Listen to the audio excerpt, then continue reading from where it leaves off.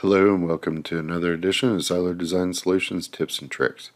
So for today's tip, what we're going to cover is the tool Thin Lines.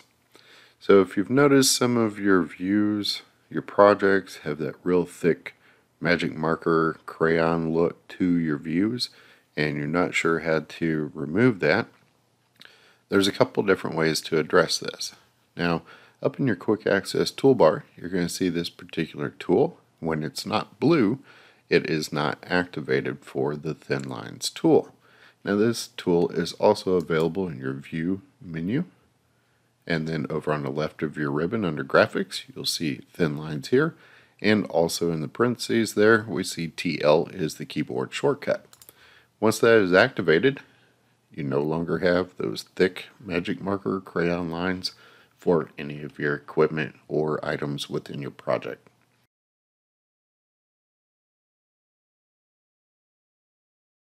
You